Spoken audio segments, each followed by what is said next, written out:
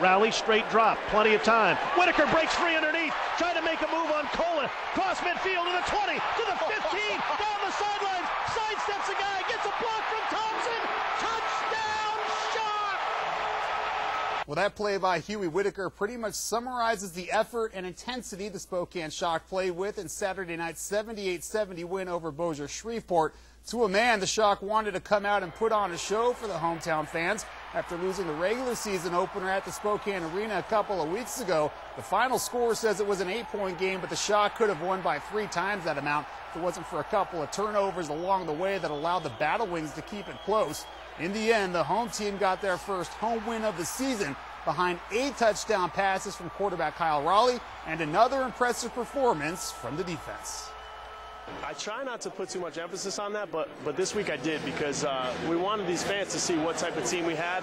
We don't feel like we did that in week one, and uh, I, I, it, it, was really uh, important to me to play well in front of these guys. I'll tell you what, it felt great to see us out there starting to make some of those plays down the wire that we needed, and the way the crowd got behind us, it felt like old times. They're back, and we're back.